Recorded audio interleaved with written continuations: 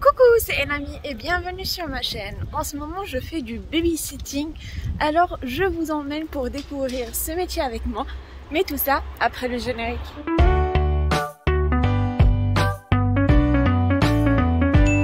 Pour ceux qui se demandent, mais tu travailles dans les ressources humaines, qu'est-ce qui t'a amené à faire du babysitting? En fait, j'ai perdu mon emploi du jour au lendemain. Et vu que c'était la période d'été, il n'y avait pas trop d'offres et je trouvais pas un emploi qui correspondait à ce que je cherchais. Et au lieu de rester sans rien faire, bah, je me suis dit pourquoi pas essayer le babysitting parce que franchement c'est un métier qui m'a toujours attiré et je voulais savoir c'était quoi puisque j'adore les enfants. Comment est-ce que j'ai trouvé cette offre de garde? Tout d'abord, j'ai envoyé ma candidature à garde, mais il y a plein d'autres agences comme Baby Chou et euh, Mary Poppins. J'ai eu un entretien avec l'agence. Euh, c'est un entretien classique où ils vous mettent dans une mise en situation, ils vous posent des questions. Par exemple, la fièvre, c'est à partir de combien de degrés? Qu'est-ce que vous faites euh, s'il arrive quelque chose à l'enfant?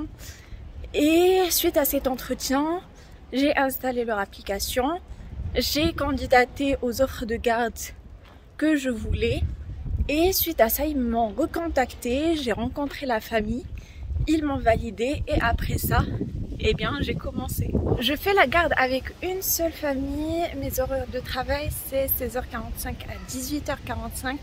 Et la première étape, c'est aller chercher la petite d'un an à la crèche. J'ai récupéré le premier petit bout de chou et maintenant on se dirige vers le centre de loisirs afin que je récupère ses sœurs de 4 ans et 6 ans.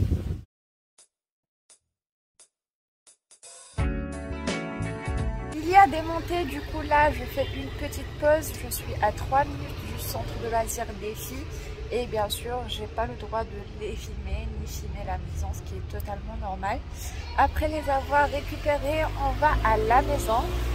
Et euh, je regarde le petit carnet que leur maman me laisse avec euh, le repas qu'il faut que je prépare.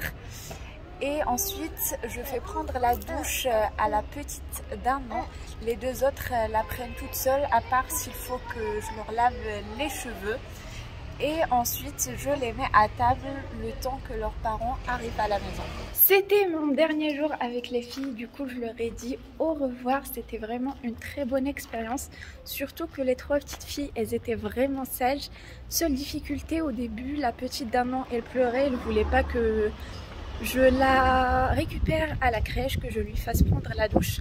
Mais sa grande sœur, elle m'a été d'une grande aide. Voilà, c'est tout pour cette vidéo. J'espère qu'elle vous aura plu. En vrai, un mois de babysitting, c'est bien. Mais franchement, je n'aurais pas pu supporter plus. Un grand bravo aux personnes qui font ça à temps plein. N'hésitez pas à me dire en commentaire si jamais vous avez des questions. Moi, je vous invite à lâcher un pouce bleu, à vous abonner et activer la petite clochette. N'hésitez pas à me suivre sur Instagram aussi. Et moi, je vous donne rendez-vous comme d'habitude samedi prochain. Soyez au rendez-vous.